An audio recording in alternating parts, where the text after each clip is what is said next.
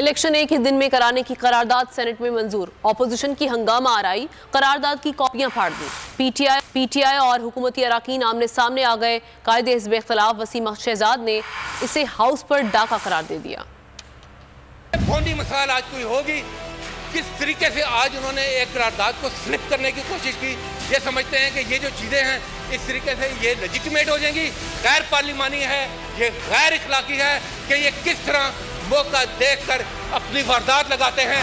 ये जिस दिन मैं अर्ज़ करता हूँ जिस दिन Supreme Court practice and procedure act pass हुआ था बिल पास हुआ 60 वोटों से 19 वोटों के केस ये उस दिन भी ये उस दिन भी बाइकआउट कर गए थे। ये इसको वापस दोबारा इसको पुट करें सर इस हाउस में। ये कोई तरीका नहीं है सर।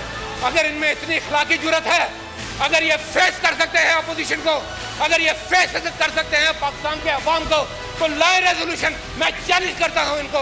फिर इनको पता चलेगा दूध का दूध थैंक यू सर इन्हें आदत पड़ गई है बाइकआउट करने की। ये बात सुनते नहीं है।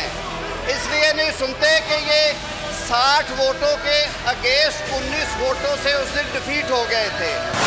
तो नज़र आ रहा है सामने लिखा हुआ है जुल्म मिटने के लिए। दो चीज़ों से मिटेगा भाई। एक अदल की कुर्सी पे जो लोग बैठते हैं ना वो अदल के हिसाब से फैसले करने लगे। दूसरा कौम निकल खड़ी उस जुल्म के खिलाफ। तो जुल्म खत्म हो जाएगा, या इन दोनों में से कोई एक चीज़ हो जाए, या दोनों हो जाए। अगर चार सौ बीसी का मुकदमा था, उस वक्त अदलिया में जो लोग बैठे हुए केस देख रहे थे, वो पूछते ना, यार, चीट हुआ कौन है? जब उनको दिखता कोई चीट नहीं हुआ, केस खत्म कर देते। तो जालिम जुल्म कर ही नहीं पाता। नौ जजेस ने नोट बिफोर किया मेरे केस को, यार, डेढ़ साल चला। शख्सी जमानत का केस।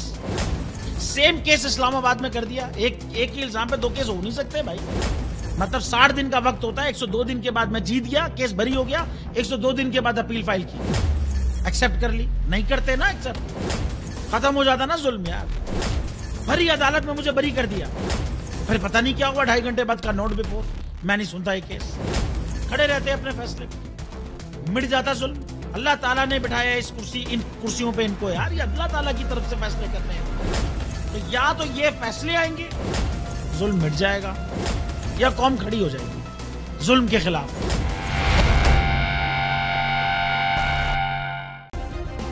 सब्सक्राइब करें और बेल दबाएँ ताकि कोई खबर रह न जाए।